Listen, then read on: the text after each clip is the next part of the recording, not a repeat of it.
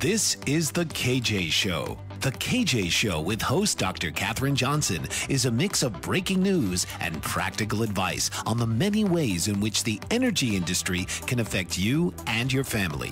Katherine will combine energy updates and conversations with leaders in the energy efficiency community. So please welcome your host, Dr. KJ.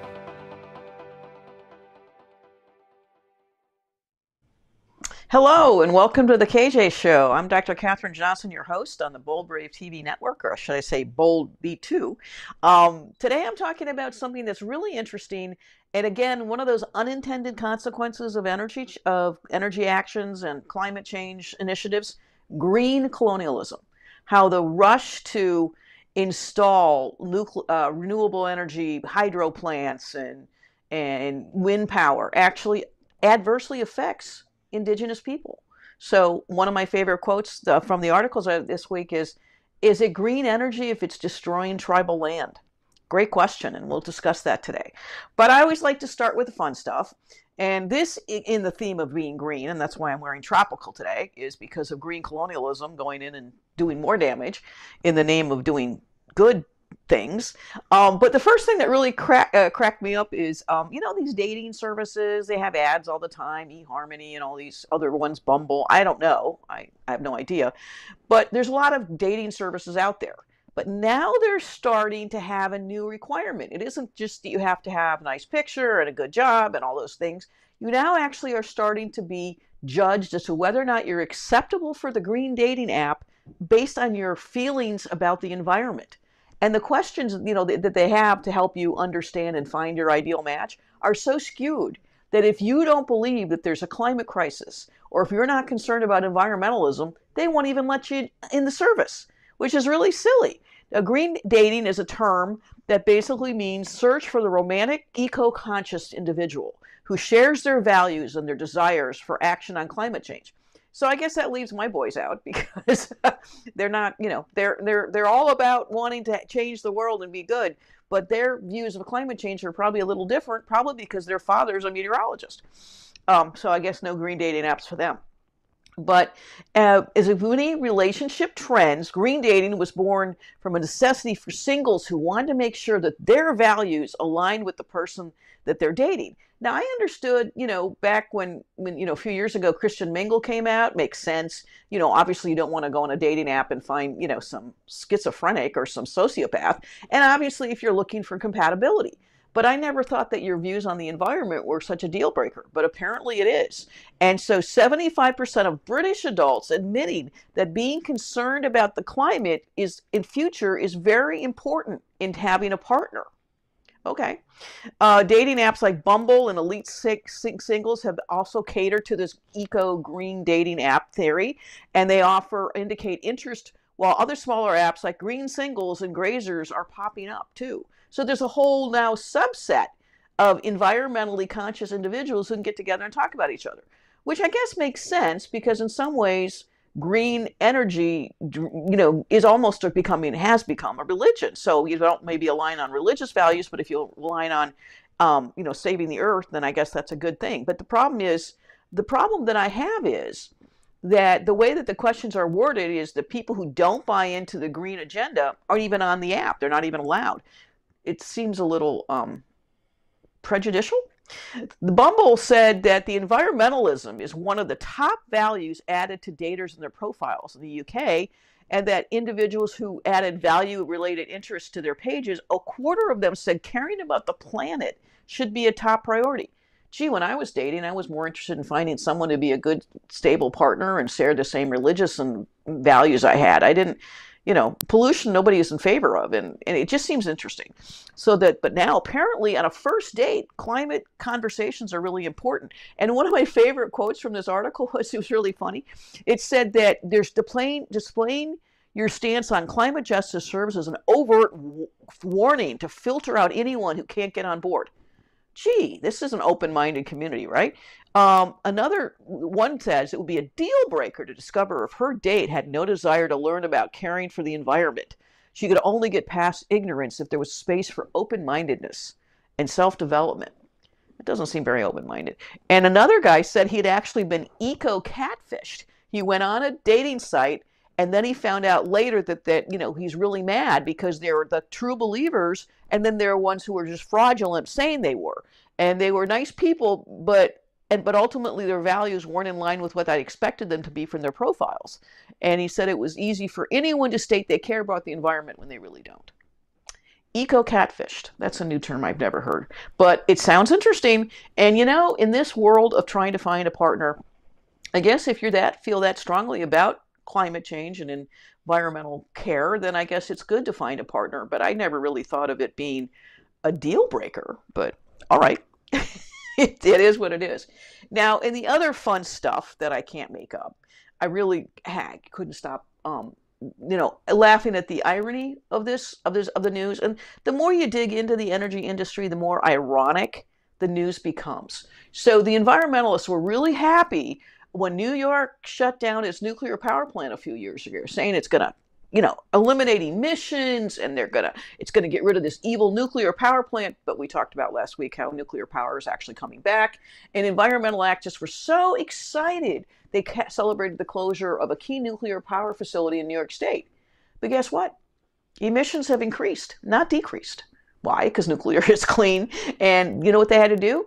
They thought they were going to get wind and solar projects but they didn't. And I've talked about why, because the prices have fallen off the market. So what they ended up having to do was to import energy from other states, like and natural gas and fossil fuels. And then they also had to import energy from other nuclear plants in other states. So the cost of importing actually increased their emissions. So it was exactly the opposite of their intended effect, which seems to be a recurring theme in the energy industry.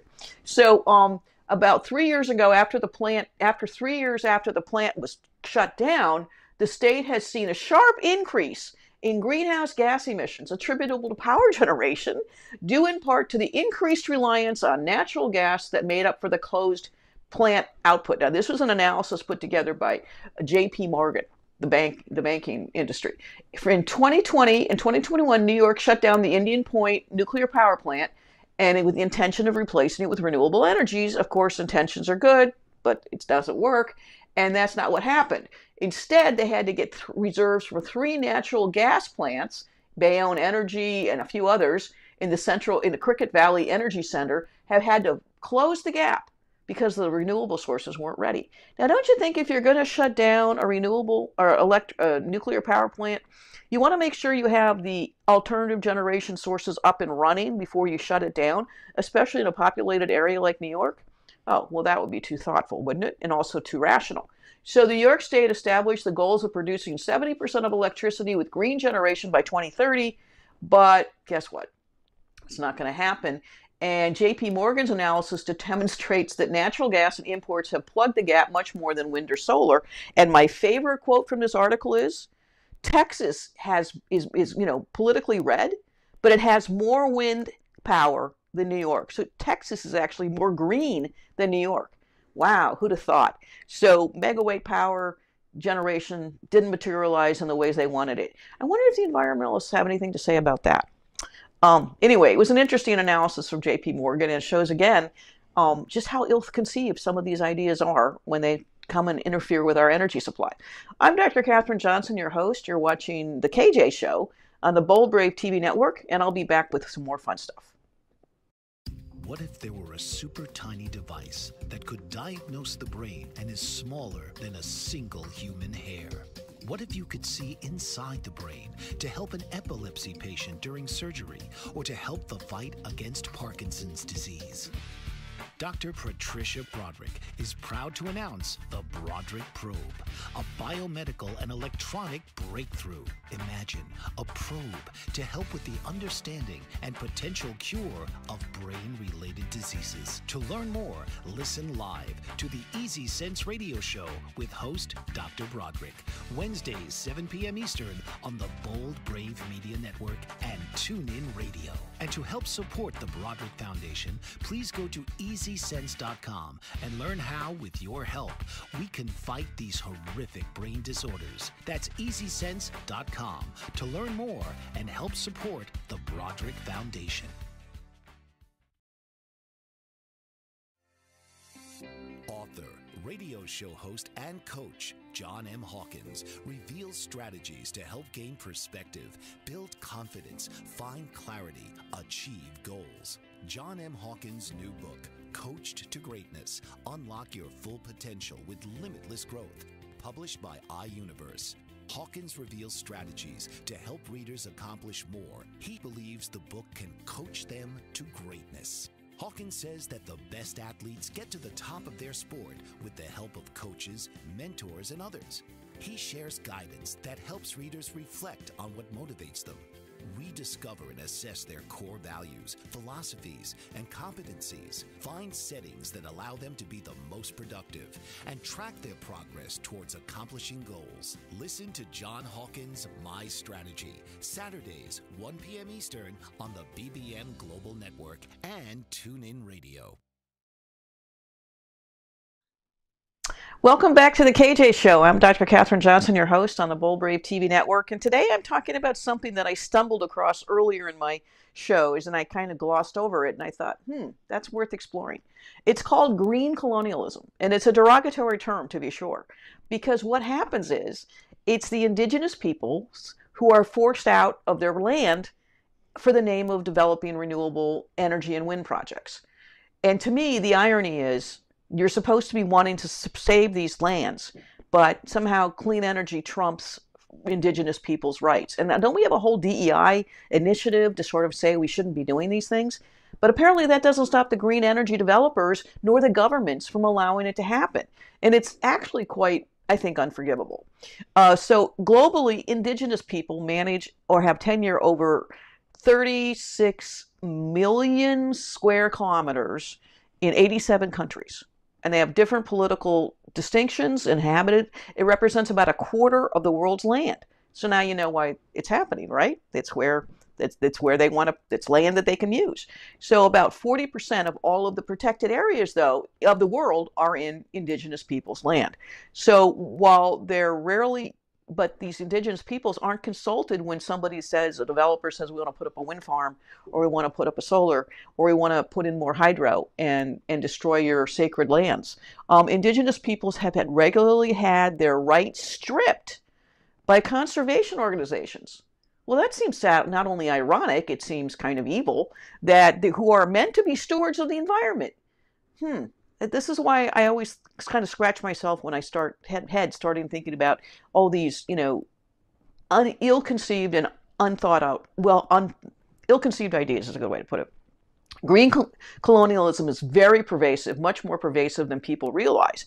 So um, it takes place when a, within a country too. Interestingly, as we invest in more renewable energy, other conservation activities, it oftentimes at the expense of marginalized communities, the indigenous peoples. So here we have an initiative in America to try and, you know, correct historical injustices. But at the same time, the people that are perpetrating these historical injustices are the ones who are trying to tell us that we have to get off we have to get off fossil fuels, we have to get off natural gas, we have to get off nuclear um, because it's not really green, and we have to basically destroy these lands. So the intentions are good, but you know what the word road to hell is paved with. But a conservation group, for example, wants to save a forest in a protected area so corporations can't, you know, log it. But the problem is if they're protecting a forest that is, has sacred value and importance to these indigenous communities, like it's their hunting ground or it's their cultural forest or it has meta where they where they survive, then they're actually kept out of something that's part of their sacred traditions. Um, and unfortunately, green colonialism happens all over the world and in places you wouldn't even suspect it. For example, Norway, um, and I've talked about the Sami reindeer before, but there's this new, there was this wind power plant that was announced in a location where the Sami uh, indigenous reindeer herder people live. And um, and they've herded reindeer for centuries. And 98% of Norway's electricity comes from renewable, primarily wind. But the impact has actually been very devastating to the traditional Sami livelihoods. The problem is the wind turbines affect the migration of these reindeer, which is their livelihood. They spend their whole. That's what that the the reindeer are their life. Uh, that's how they make a living. They the, because guess what? The reindeer don't like the wind turbines. The community, um, the hydropower plants have also caused problems. They weaken the ice so the reindeer, when they're migrating, could die. They also um, uh, reindeer try to avoid grazing in areas where they can see or hear rain, wind turbines. And one project would disrupt the migration, and that can actually lead to more deaths of reindeer who have just given birth or are pregnant, and because it makes it harder for them, may longer migration route. So here we have wind power, which is supposed to be really good for the planet, isn't really good for the people who live there. And it isn't really good for the indigenous peoples. And I'm wondering what what what do environmentalists think about this paradox? This is why it's called green colonialism, because it really is taking advantage of the least um, well, the most vulnerable people. And we talk a lot about energy vulnerability, but apparently it doesn't matter if you're going to put up a hydro plant or a, a, wind turbine. They don't really care about the reindeer herders. In fact, the Norwegian government was terrible. They the herders actually filed a lawsuit, and, and they got a court of appeal. They wanted to stop the wind turbine or the wind farm from being developed. They said it damages their lands, it hurts their livelihoods. But instead of stopping the wind turbine development, they got money, which you know they got paid off but basically it reinforced the tendency of the Norwegian government and the industry to sell the indigenous rights in the name of development and resource extraction. So they'll say, okay, we'll pay you a bunch of money for your for your inconvenience, but we're not going to stop building this plant. But that's what's causing the damage. So it was very difficult, even though they and even though it cost them um, about nine million dollars, the the Sami didn't want the money; they wanted their land back. Similarly, in Indonesia, had all kinds of problems with um, Indonesia's people from Brazil have found that most aggressive land grabbing is being done by conservation organizations. A forest can be rebranded carbon offsets, and I've talked about those before, and is designated um, by, you know, so the traditional people can't go and live in their forests like they have for centuries because now it's carbon offsets and they're they're kicked out basically. Oh, they want to preserve about um, 80,000 hectares, which I did the math, it's about 116,000 acres of forests, uh, which uh, about um, 60, 70,000 acres are threatened with oil. So the oil companies were coming in. But now the environmentalist groups have come in and said, well, you know, you can't, oil companies can't come and can't come and, and drill for oil and you can't come and uh, farm the forest, but you can't come either because it's now protected and the indigenous people are being kicked out of their own land.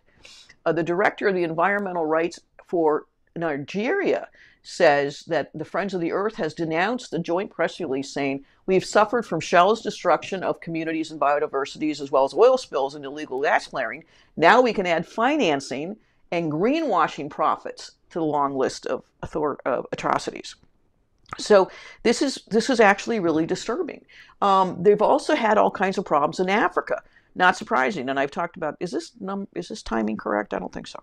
Um, but anyway, uh, so the green uh, they developed in, in Africa, um, developing carbon offsets has been quite a lucrative business, and I've talked about how they were actually putting elephants on game preserves under the name of carbon offsets and then shooting them, with white game hunters, big game hunters. Ugh, atrocious. But in, there's tree plantations and carbon offsets and examines the African forestry impact. And apparently, what they've found out is that an Australian investment firm has actually, again, done what we said green colonialism. The president of Kenya is promoting the continent and says, oh, here, come, we'll do carbon offsets. But at the same time, um, we don't have uh, enough. We're not. We're taking the land away from those people. So far from benefiting the African nation, the expansion of carbon markets sustains the status quo, and continues with this horrible misuse again and and and land grab of people who are the most vulnerable, the people that these organizations are supposed to help. That to me is despicable. But I'll have more. Uh, this is Dr. Katherine Johnson, your host on the Bold Brave TV network. I'm talking about green colonialism today on the KJ Show, and I'll be right back. Did you know that your beliefs create your entire reality, but it's the subconscious beliefs that do most of the creating? Belief shifter and life coach Shiraz can help you identify those limiting beliefs and eliminate them, often in a single session. Like it was almost instant. Like I had relief right away. Creating better health, relationships, careers, and finances. Let Shiraz help you step out of safety and into awareness. Definitely something's happening. Uh, it's like a, a flow inside. Yeah, it feels good. Whether in person or online, Shiraz provides personal coaching, belief shifting. Visit Shiraz at energeticmagic.com or call 416 529 7429. Energetic Magic on the BBM Global Network, Tuesdays at 7 p.m. Eastern. Find your greater happiness. Be well, be aware, be magical. Are you struggling to care for elderly parents or a spouse? Do you wonder if being a caregiver is making you sick? Are you worried about taking time off work to care for elderly parents and balance work, life, and caregiving? Has caregiving become exhausting and emotionally draining? Are you an aging adult who wants to remain independent but you're not sure how? I'm Pamela D. Wilson. Join me for the Caring Generation radio show for caregivers and aging adults Wednesday evenings, 6 Pacific, 7 Mountain, 8 Central, and 9 Eastern, where I answer these questions and share tips for managing stress, family relationships, health, well being, and more. Podcasts and transcripts of The Caring Generation are on my website, pameladwilson.com, plus my caregiving library, online caregiver support programs, and programs for corporations interested in supporting working caregivers. Help, hope, and support for caregivers is here on The Caring Generation and pameladwilson.com. And welcome back to the KJ Show. I'm Dr. Katherine Johnson, your host on the Bold Brave TV network. And today I'm talking about a really disturbing unintended consequence, or maybe it's intended, of green colonialism. And, you know, I talked about it, how it's happening in Africa, but unfortunately, it's happening here in the United States too. And it's adversely affecting the Native American tribes and the indigenous peoples in, in, in our own country. Um, so it's not just some isolated problem building wind farms and, and hydro plants overseas. It happens right here, literally in our own states.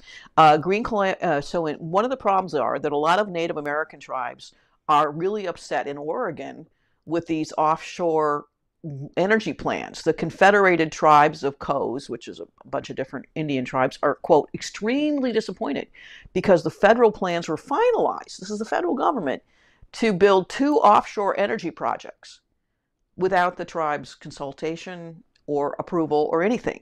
The tribe reaction says that the Bureau of Ocean Energy Management announced their plans were finalized to build an offshore wind agency near their near the Coos Bay, but the plans to build these offshore wind turbine would actually total about 195,000 acres and would avoid, um, they said, 98% of the things. They would also have about 2.4 gigawatts of renewable energy.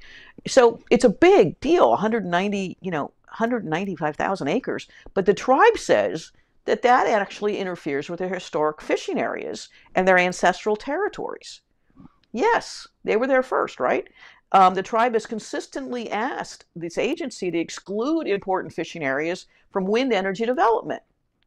And this is their, their sacred right. The fishing is an important industry on the coast and employs a lot of tribal businesses. Fishing, including salmon, are important cultural and subsistence resource. And any impact on fish from wind development is going to harm their jobs and their tribe.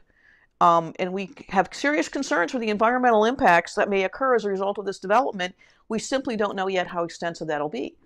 So you can imagine the federal government is going to go ahead and build two big offshore wind uh, plants at the expense of tribal lands. And I thought I thought this federal government, especially, was supposed to be really concerned about being uh, open-minded and making sure we protect cultural institutions. And it seems like this is just all of, um, go ahead and pull, yeah, go ahead and pull that up. Um, we forgot the Sami picture. Yeah, there it is. So this is actually how it's going to happen. So this is actually spreading all across the Northeast.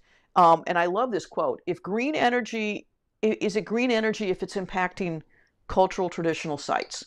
That's a really great question. And no one is answering, asking that. And no one in the in the regular media that talks about all these renewable energy plants points out the utter hypocrisy of using renewable energy to destroy important lands the you know the destruction it causes.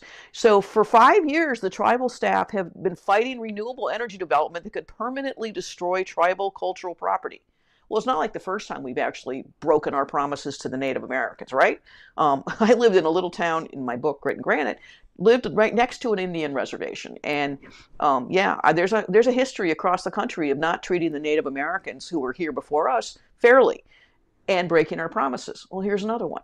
Um, this one, uh, this one organization has been trying to fight this proposal from a developer up in Rye called Rye that has efforts required efforts of attorneys, archaeologists, government staffers from a different a lot of different departments to basically finding the staff to do the important location. And they're saying the RISE project, this one, is just one of dozens proposed in the Yakima area here, 10 million acre treaty area. Maps from the tribe and the Washington Department of Fish and Wildlife show that 51 solar and wind projects are being proposed, not including geothermal or other types, and at least 34 are on part of their lands, the Yakama Nation lands.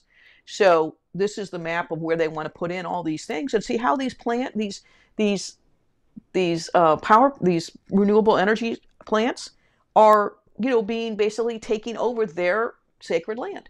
Thank you for that. Um, the advocacy group called, I don't need the thing anymore. The advocacy group called Cultural Survival, in partnership with other organizations, have also highlighted that they want, there's now the whole rush for minerals because we have this whole new push about EV cars, and we've talked a lot about how much precious minerals they use, lithium and those things.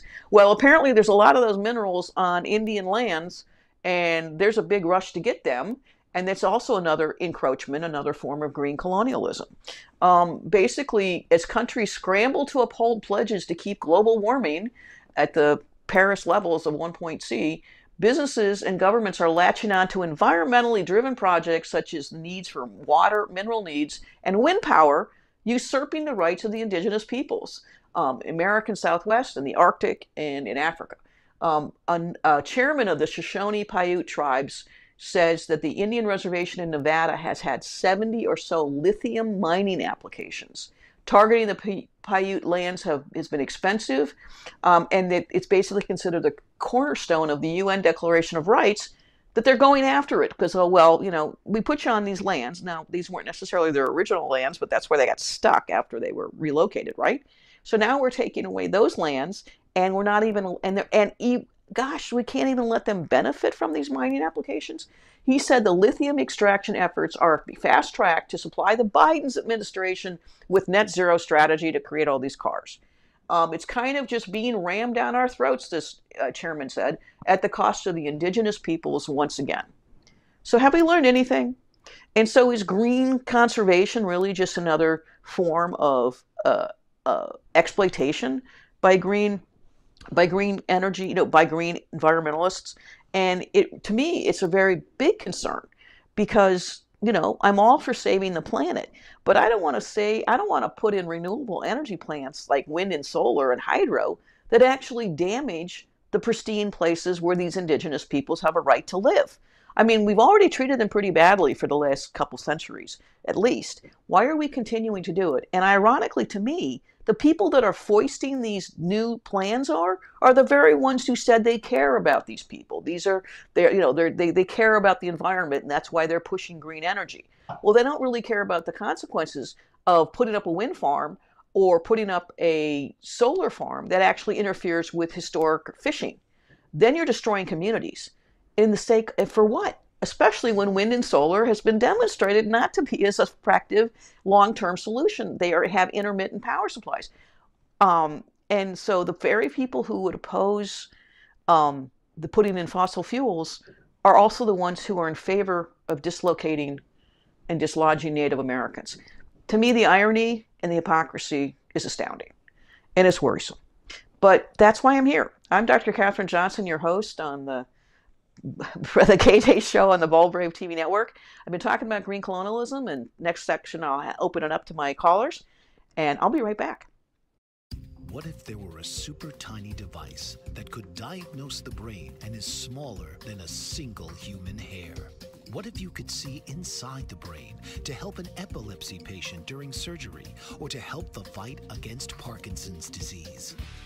Dr. Patricia Broderick is proud to announce the Broderick Probe, a biomedical and electronic breakthrough. Imagine a probe to help with the understanding and potential cure of brain related diseases. To learn more, listen live to the Easy Sense radio show with host Dr. Broderick, Wednesdays, 7 p.m. Eastern on the Bold Brave Media Network and TuneIn Radio. And to help support the Broderick Foundation, please go to EasySense.com and learn how, with your help, we can fight these horrific brain disorders. That's EasySense.com to learn more and help support the Broderick Foundation.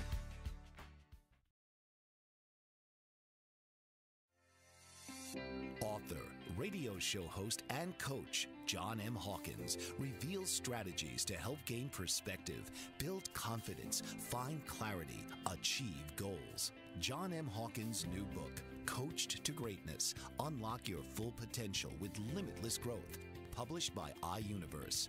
Hawkins reveals strategies to help readers accomplish more. He believes the book can coach them to greatness. Hawkins says that the best athletes get to the top of their sport with the help of coaches, mentors, and others. He shares guidance that helps readers reflect on what motivates them. We discover and assess their core values, philosophies, and competencies, find settings that allow them to be the most productive, and track their progress towards accomplishing goals. Listen to John Hawkins' My Strategy, Saturdays, 1 p.m. Eastern on the BBM Global Network and TuneIn Radio. And welcome back to the KJ Show. I'm Dr. Katherine Johnson, your host on the Bold Brave TV network. And today I've been talking about the hypocrisy of green colonialism. But I always want to open it up to have this segment for folks to call in and, and talk about whatever they'd like in the world of energy. Um, so I think uh, we'll have a caller in a minute. But one of the things um, I found to sort of just make life interesting, you want to put that picture up real quick of the squirrel in the map? So this is most interesting thing I found. Oh, never mind. We'll wait. We'll see. Keep the squirrel up, or actually take it down because John. I'll talk to John first, and then I'll talk about the squirrel. So, um, hi, John. How are oh, you? That's a nice squirrel.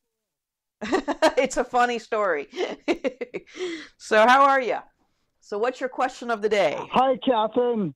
Yeah. Good morning. Um, my my question is, I I missed the first part of the show, but I'm wondering when the federal government or the energy companies requisition the land or seize the land, uh, the tribal lands for power projects, do they give anything back to the tribal communities, or is it just like, screw you, we're going to do this? It's pretty much the latter. It's like um, the federal government has control, even though it's lands that are historically controlled by these indigenous peoples. And that's what the problem is. They don't have the same rights so um, even though these lands were given to them, right, as part of treaties, and you know they they kicked them out of where they were before, and now they put them in these other places, and now they're coming in and destroying their fishing, and so they don't have any any um, you know recourse. Uh, same thing in Norway. They'd rather pay the Sami herders millions of dollars than stop the wind development that's basically ruining and endangering their their way of life and, and harming their reindeer. So it's just like we'll just throw maybe they give them money. I i don't that didn't really seem to come up. It's mostly that they're coming in and they're encroaching on these lands in the name of federal you know federal policies and how that's more important than these indigenous rights. But that's not any different than what the way we treated the native americans back in the 1800s when we marched them you know trail of tears and things. Um, so but the thing that gets yeah. me is the fact that these are liberals that are doing this. These are people that are supposed to be protecting these things. These are people in the in the you know for the name of energy, um, we're going to have to displace and and, and further, um, you know, ruin indigenous peoples because well, you know, our energy needs are more important than your land. It's the utter hypocrisy is what gets me. And and, yeah, and then the conservation yeah, groups and the yeah, and then the conservation groups who want to protect the Amazon forest at the expense of the people who've lived in the Amazon for centuries. So, to me, thank you, John, for calling in. Great question as always. Now we yeah. want to put up the squirrel because the squirrel is really fun. You're going to like the squirrel story, John. I promise. Um, so, one of the things that I've always worried about is when we have non-trained, untrained observers who take pictures and distort facts. And that comes in a lot of the climate news, by the way. It's not really done by people who are professionals. So this is a great example. Now we're talking about squirrels in St. Louis. And this researcher came and found out that that the people's impressions of what is happening is completely wrong, which is one of the reasons I think a lot of climate change is, news is is incorrect too. So she, this woman who's a researcher, wrote about bias in community science data, and what she did is she basically noticed that they had two maps. One showed the racial segregation that had happened, with the northern half being mostly black and the southern half predominantly white and the other showed where the sightings of the eastern gray squirrels were and had been recorded on this app iNaturalist used by phone wielding photographers. Judging by the app, there were no, virtually no squirrels in the city's black neighborhoods who said, well, maybe it was urbanization or maybe, but she knew it wasn't true. Um, squirrels are abundant in the northern part of the city as well as the southern part. But there were no recorded observations. Why is that? Maybe because people on, in the other communities have better things to do than take pictures of squirrels. Her insight actually developed into a conversation about scientists and how peer review, in a peer-reviewed paper about the blind spots and biases that can skew data gathered through informal amateur networks. And I would put the UN climate change report in that, as it has been discredited many times by hundreds of scientists who actually wrote wrote the wrote the paper and then it got politically changed. So, you know, so this immature or amateur, I should say, approach. So basically citizen science has become an important part of biodiversity research. Yeah, but it isn't accurate and it isn't true and it creates bias. And whether it's volunteers collaborating or researchers tapping into apps, but just posting pictures examined that in late February they documented a population crash of humpback whales in the Pacific. Problem was, it wasn't true, and it just skewed the data. And St. Louis scores that data can produce results that have little to do with actual natural history and a lot to do with human society. So if we have biases affecting how in the world we think how squirrels are distributed across the city of St. Louis based on postings of people taking pictures of squirrels, how is that different than people saying, "Oh, you know, it was it hasn't snowed last year, therefore there must be climate change"? No, it's called weather. Uh, we need to be very conscious, this researcher says, about how the, we're using this data and how we're interpreting where the animals are. And basically, she wrote with 13 other scientists around the country, say a cautionary road track roadmap of the ways that bias can creep into data gathering and resulting pictures of the natural world. So here's a scientist who actually admits that when you have, you know, amateur people bias creeps in. I think bias creeps in regardless, but the data depends on who participates and where they're located, and observations tend to be skewed. Um, likewise, wealthier people are more likely to take pictures and take part in citizen science and increase the likelihood the data will come from where they live. So the racial disparities can reflect on social and economic inequities, but have also emerged in, in climate, climate, citizen science, where white participants are overrepresented. This is a really disturbing trend to me um, because what that means is, and unfortunately, we know we hear all about um, we hear all about you know it's going to be it's been a really bad weather for the snow snow for the ski resorts and this it's not as snowy as it used to be. Well, people forget this is you know we have to look at centuries of data. And by the way, the place where I live, I have a place out in uh, Ouray, Colorado. Is getting lots of snow. So the, the, the point is, you can't just take one data from one point and project it across um, the entire spectrum. This, you know, when I was getting my doctorate, one of the things I learned really important was to do triangulation, is to gather data from multiple perspectives because you can have bias, and everybody does, and everybody has their own their own opinions about things. But that's why we need to talk to a lot of different people. The climate movement, and this is a good example of bias creeping in, has kind of formed this opinion and then only allows the data that reinforces that opinion into the argument. And if you disagree with it, you're in big trouble. So I thought this citizen science project that showed that squirrels were actually equally distributed in St. Louis, but if you look at what people think, they're wrong. So how is that not different than what people think about the climate?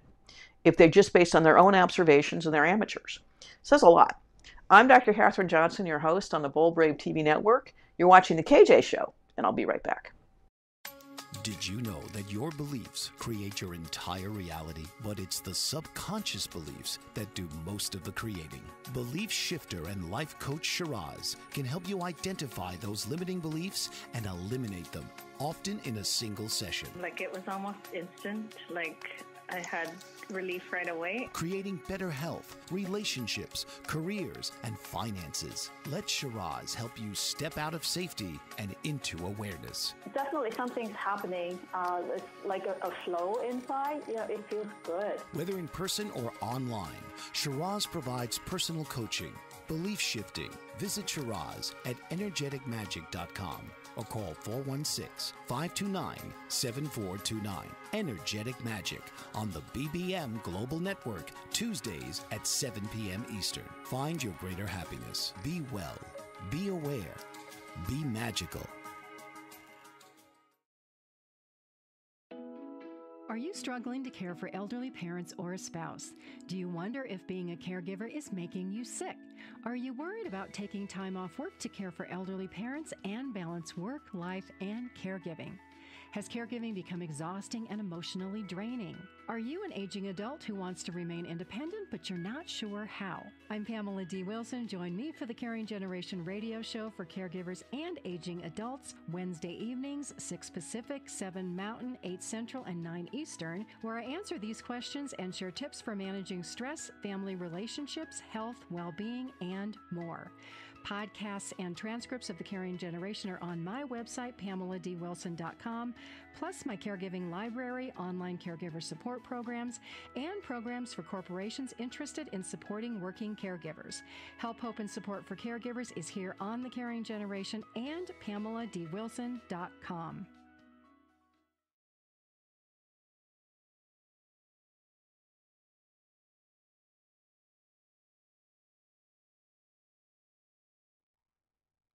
Welcome back to the KJ Show. I'm Dr. Katherine Johnson, your host on the Bold Brave TV network. And today I've been talking about green colonialism. And I really want to point, make this really very important observation. Green colonialism is just another form of carbon offsets. And I've talked about the evils of carbon offsets. Even Bill Gates doesn't think carbon offsets are any good. To me, they're more like the indulgences that the Catholic Church used to sell to help us get into heaven back and to build the cathedrals. But carbon offsets are the form of, you know, you're going to offset your carbon. You, you buy, you fly on a plane and you can buy carbon offsets. But the thing is, it's really not only a fraud, it's actually more of a scam too. But, and most of the carbon offsets, guess what? They, they are in, located in poor countries by people who don't get any revenue whatsoever, and they're the least po- politically powerful groups are being again harmed by these carbon offset schemes. That puts them in competition for land, and they really can't. You know, so they're basically putting in carbon offsets. We're going to set aside this forest, but that's where the indigenous people live. Uh, a research institute in reported that Norway's company's quest to buy and conserve forest land in East Africa to use for carbon offsets came at the cost of forced evictions and food scarcity for thousands of Ugandans, Mozambique, and Tanzanians. Um, how is that right? How is that fair? How is that good for the planet when you're evicting poor people? Efforts to boost energy security can drive colonialism as well. African continents, paradoxically, are both home to the world's largest solar plant in Morocco, are also the least connected to the grid. And the other thing that's happening is these European countries are using the power from these um, carbon emissions from these, you know, green energy in other countries, and, and that's how they're using it to offset their own. Um, solar power may end up giving Africans more access to electricity, but many larger renewable energy projects in North Africa actually go to Europe. They don't even benefit them. And they're bolstering energy, European energy security, but they're not really helping the Africans.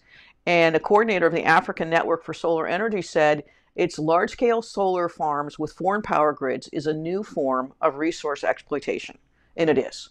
And it's green colonialism. And it's really not something that people talk about, and they should. So many Europeans' most carbon intensive industries have relocated outside the EU and but they're still making profits you know still making products and the emissions they're actually outsourcing their g- greenhouse gas emissions they've allowed these european countries to appear virtuous um, even though they're simply moving the emissions around the, the globe. France, Italy, and Germany are among the world's top importers of embedded carbon in the form of cars, machinery, domestic applications. The EU has been able to cu- cut emissions by shifting to clean energy technologies like wind and solar, but it comes again at the expense of the indigenous peoples. A great deal of the lithium for the lithium ion batteries is dug up in Argentina, Bolivia, Chile, and much of the cobalt is used in the Congo.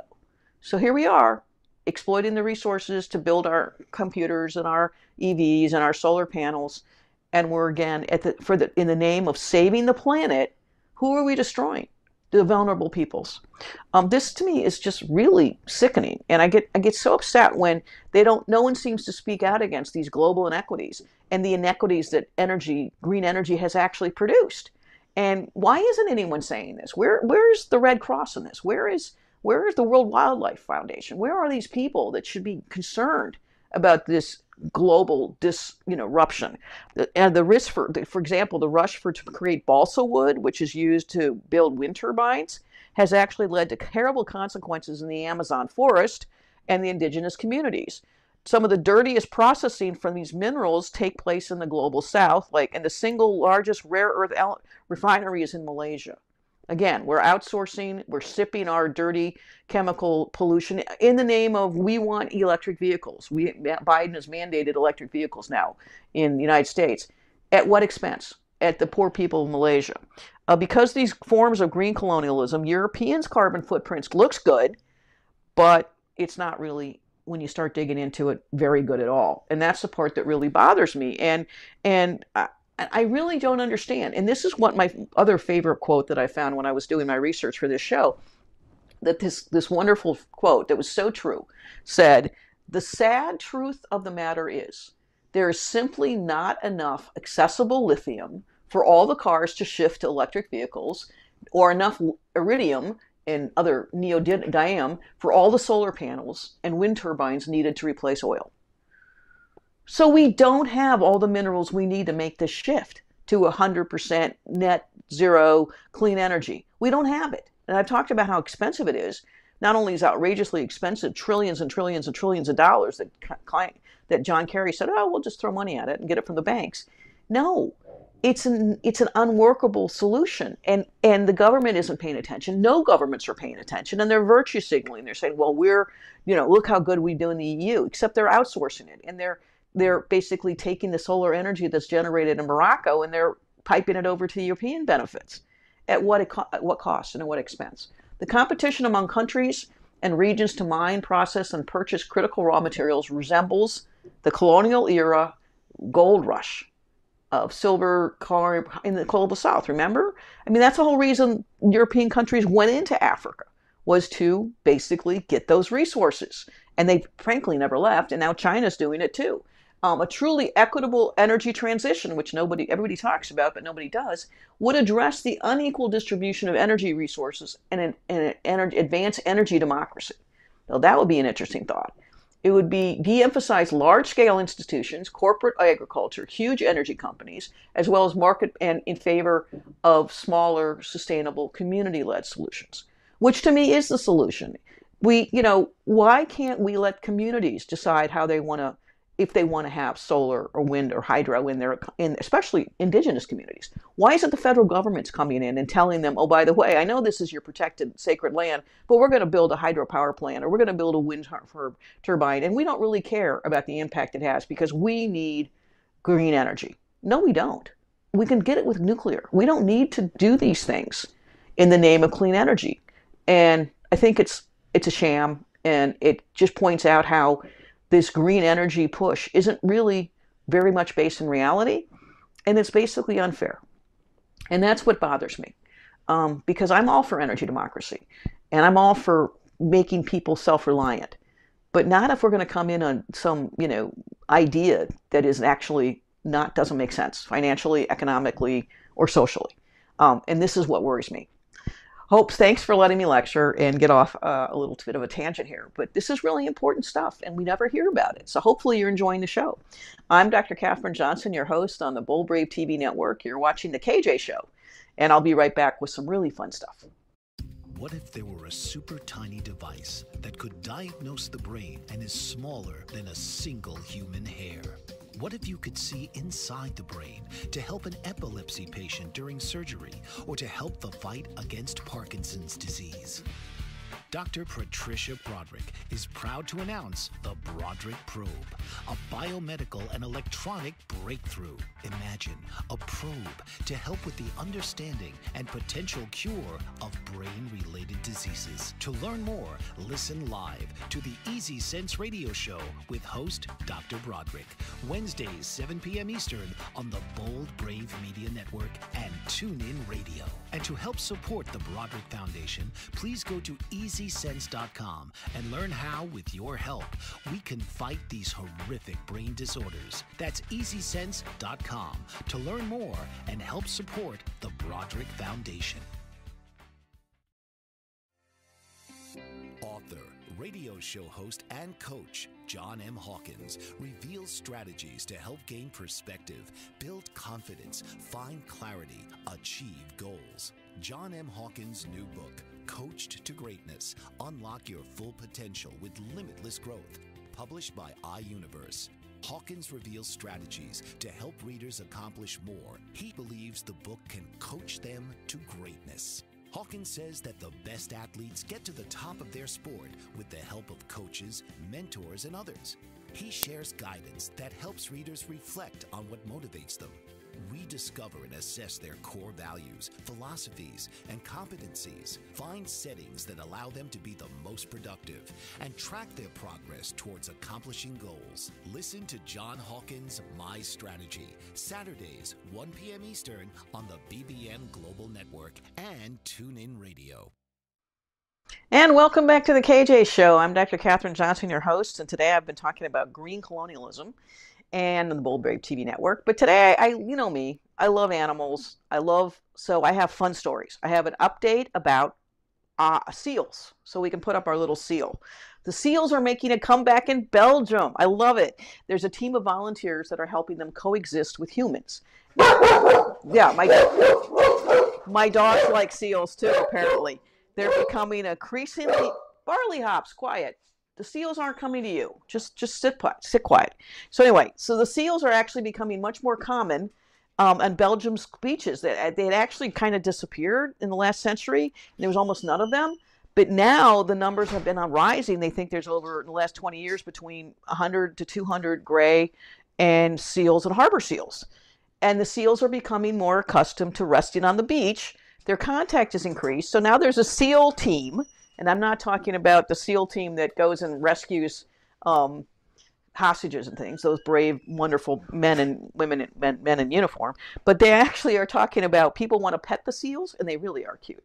I go to Monterey every couple years, and the seals are adorable. They also, and the otters, and they actually try to tip over your kayak if you let them. Um, but some will even try to return them to the water. But now they said the North SEAL team and the municipality has basically said, hands off the seals. After COVID, they decided, no, you're going to leave the seals alone. And they have seal only zones where people can't go. And they've introduced the rules. People have to stay 30 meters away, about 90 feet from the animals, and obey the golden rule absolutely cannot feed them. And that is true. When I go to Monterey, the seals are everywhere along with the otters too and they're up on the shore and they're barking and they're you know but people try to you know but they they have fences up to protect the seals from us not us from the seals though seals can be kind of aggressive so i'm so glad seals are coming back in belgium i didn't realize they were i had never really thought about seals being in belgium but it's wonderful they're coming back right one of the good things um, and uh, yes, I do love the term SEAL team. and now I have another update. My favorite animals put on the beaver. Beavers in Scotland. Apparently, as I've mentioned on many shows, how, how important beavers are. And of course, I think beavers are just an amazing creature. But the fifth, of, so there is the, the Scott estate in Scotland. It's owned by a fifth generation um, owner. Basically, decided that he wanted to bring back beavers to Scotland because they were being hunted to extinction, and he thought beavers were really important. He's right. He says he, he calls them magicians and how they make these changes um, a beaver occupied pond they, they were talking about. There were a couple, there are now 30, 1,500 beavers living wild in Scotland, um, which could reach over 10,000 by 2030. And basically, they say 42% of the beavers removed from conflict sites were relocated rather than shot, which is good. They actually had a story about this beaver named Fig that had been shot and they were safe. He was saved. But now what this happens is last summer during the heat wave, they actually they actually released beavers on this in, on the Scottish estate to see what would happen. You know what? They they said they were so worried because of the heat waves that you know what we're going to do. Would they want to have you know they have to have beavers have to have 60 centimeters of of land underneath water. So you know what they did? They just built bigger. They just pushed the mud up and made it deep enough for them, and they ended up in the process saving the river uh, he said, referring to the minimum depth, beavers need to fully submerge in the water to feel safe swimming to and from their lodge. The mammals started to dredge the pond, pushing up little mountains of mud to maintain deeper channels, and basically they um, have kept thousands of species alive that were dependent on the water, creating, quote, wee opportunities for nature, even under difficult conditions.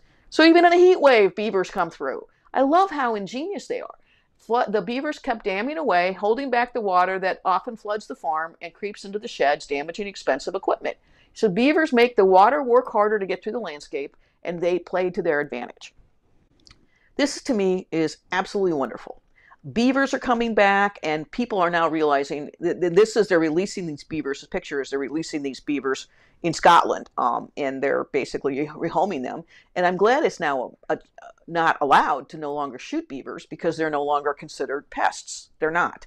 They are, as I love this guy, magicians. It's another term for them. I just call them the Swiss Army knife of animals. But um, can you imagine during a heat wave, the beavers figured out how to get around it, make make the pan- channels deeper, and save all kinds of things in the process. Um, this is why I think sometimes uh, human beings think we're really important in the world? Nah, I think the animals have a much better handle on how to live in this world and and make it better than we do as, as human beings. But um, thank you so much for joining me today. It's been I'm Dr. Katherine Johnson, your host on the Bold Brave TV network. Today we talked about green colonialism. Um, if you have any comments, please send me a, a note at kjohnson at johnsonconsults.com. You can also subscribe to my uh, Substack article. You can go up to my website, www.johnsonconsults.com and sign up for my free newsletter. And of course, thanks again for tuning in, and I look forward to seeing you next week. You've been watching The KJ Show on the Bold Brave TV network. This has been The KJ Show. Tune in next week as Katherine shares her insights to current changes in the energy industry while drawing on her experience as an energy efficiency consultant for the past 30 years, right here on The KJ Show.